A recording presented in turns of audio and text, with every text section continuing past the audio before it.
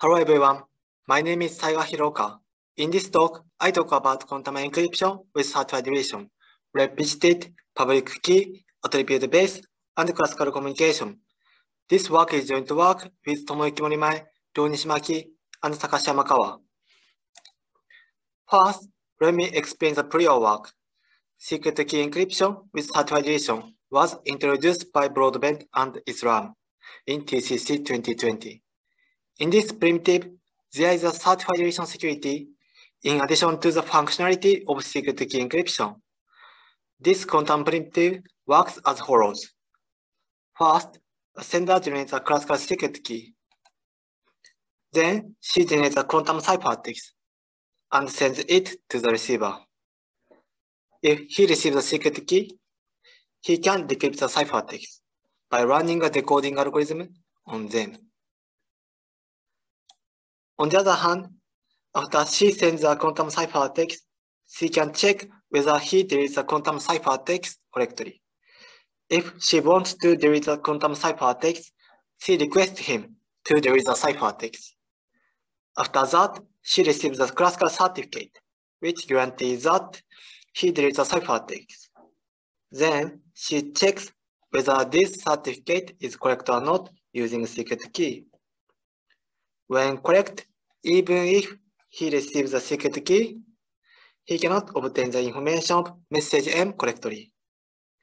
Intuitively, this is what certified security guarantees.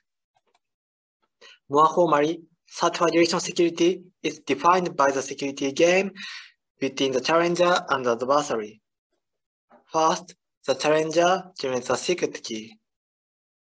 Adversary generates two messages and sends them to the challenger. The challenger decides bit B and generates the ciphertext for the message MB and sends it to the adversary. The adversary generates a classical certificate and sends it to the challenger. The challenger runs a verification algorithm on them and outputs top or bot. The adversary receives the secret key and outputs B prime. We say that the encryption scheme is certified deletion secure if it satisfies this inequality, where this top means that the challenger outputs top. This is what certified deletion security guarantees. We remark that this functionality is classically impossible. In other words, if the ciphertext is classical, it cannot achieve certified deletion security. This is because the adversary can copy the classical ciphertext. They construct this primitive using BB84 states. For the ease of explanation, I explain the construction where the sender sends only 4 qubits. First, she generates a random classical bit string as a secret key. After that, she randomly generates a computational basis quantum state as follows. Then, she operates Hadamard gate on them according to this classical bit string.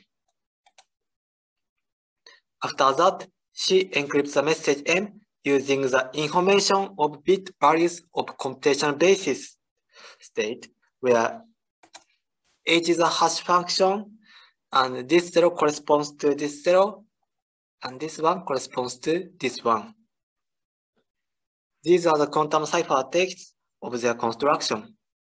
Then she sends them to the receiver. We remark that if the receiver has a secret key, he can obtain the message M correctly. This is because the secret key is information of basis of these quantum states. Therefore, he can obtain 0 and 1 by measuring these quantum states in the computational basis. He can decrypt M by computing H of 0 and 1.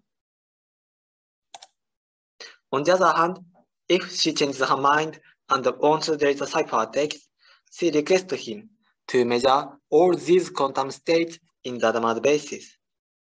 The honest receiver measures all these quantum states in the Hadamard basis and obtains a classical bit string, where R are random classical bit. Then the receiver sends them to the sender. Then she checks whether this certificate is correct or not using secret key. When this certificate is correct, even if he receives a secret key, he cannot obtain the message M correctly. This is because he has to measure all these quantum states in the Hadamard basis in order to make her accept with a high probability. Since even the unbounded malicious receiver cannot distinguish the basis of these quantum states. If he measures the computational basis state in the Hadamard basis, these quantum states collapses to the random classical bit and he can no longer obtain the bit values of computational basis state. Their construction has disadvantages as follows. First, their construction is limited to the setting of one-time secret key encryption, which means that one needs the same secret key to run the encoding algorithm and to run the decoding algorithm, and the key cannot be reused. It is problematic in some cases. Second, in their construction, the sender needs quantum operations. Third, in the construction, deletion is privately verifiable, which means that the sender needs a verification key kept secret. In their construction, if the verif verification key is revealed, the malicious receiver can obtain both the correct certificate and the message. In our work, we have improved these disadvantages as follows. More formally, results of our work are the following. First, we have constructed public encryption with certified deletion from IND-CPA secure public encryption and one-time secret encryption with certified deletion. Second, we have constructed attribute-based encryption with certified deletion. Assuming the existence of post-quantum indistinguishability obfuscation and one-way function, and one-time secret key encryption with certified deletion. Third, we have constructed public key encryption with certified deletion that uses only classical communication.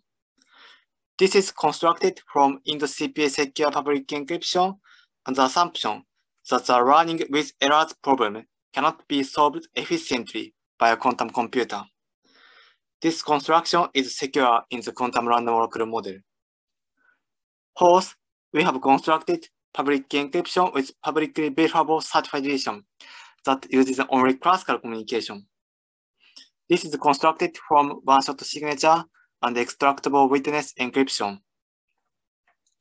But for the time constraints, in this talk, I talk about this and this. First, I talk about public encryption with certified deletion. We have constructed public key encryption with certified deletion using public key encryption and secret key encryption with certified deletion as a building block in a black box way. But for the ease of explanation, I will explain specific construction. Idea of our construction is very standard. To encrypt the secret key using public key encryption. First, a sender receives a public key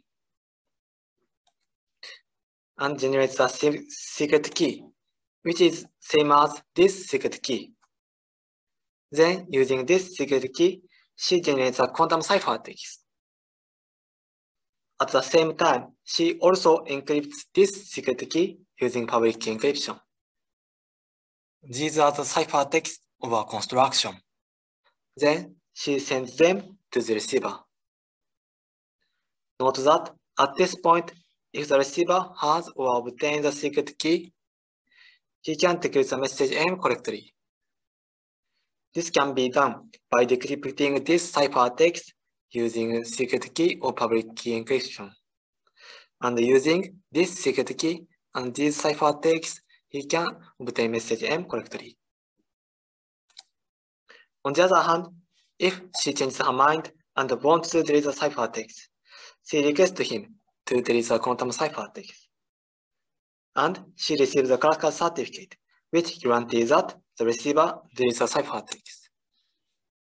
Then the sender checks whether this certificate is correct or not using this secret key. When the certificate is correct, even if he receives the secret key of public key encryption, he cannot obtain the message M correctly. I explain the intuitive proof. Because the secret key of secret key encryption with certified deletion is encrypted by public key encryption, this ciphertext useless for the receiver. Therefore, in order to make her accept with the high probability, with the high probability, the receiver has to measure all these quantum states in the Hadamard basis. On the other hand, once he measures the computational basis state in the Hadamard basis, he cannot obtain the bit values of computational basis state, even if he receives a secret key of public encryption after he measures this quantum state. Therefore, our construction is also secure. This is the intuitive understanding of our security. But for the formal proof, we have to construct a protocol using receiver non-committing encryption instead of public encryption. Technically, this is the most important for work of public encryption with certified deletion. But for the ease of explanation, I skip the formal proof. If you are interested in the formal proof, please read our paper. Now, I finish the first part. Then I start the second part, that is certified deletion with classical communication. In the certified deletion explained so far, the sender needs quantum operations. In this work, we have improved the disadvantage and have constructed certified deletion that uses only classical communication. In this work, we have used noisy trapdoor claw-free functions F and injective trapdoor function G and public encryption to construct a protocol. These functions are constructed from LWE assumption and have some cryptographic properties. Using these properties, a classical sender can generate a quantum state in a receiver's register.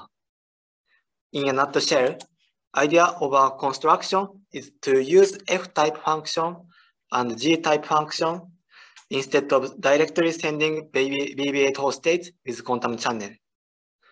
First, I explain how to use noisy trapdoor claw-free functions F to generate a quantum state. A classical sender first generates a trapdoor and noisy trapdoor claw-free functions F and sends it to receiver. Then the receiver generates a superposition state and coherently evaluates f of x. Since noisy trapdoor claw-free functions f is 2 to 1, if he measures the third register in the computational basis, he obtains this quantum state, where f of 0x0 and f of 1x1 are the measurement outcome y. If he measures this quantum state in the computational basis, this quantum state collapses to the classical bit string 0x0 or 1x1. On the other hand, if he measures this quantum state in the Hadamard basis, this quantum state collapses to random classical bit string E and D, where E and D satisfies the following equation. Intuitively, once the receiver measures this quantum state in the computational basis, the quantum state collapses to 0 or 0x0 or 1x1. Therefore, he can no longer obtain E and D that satisfies this equation.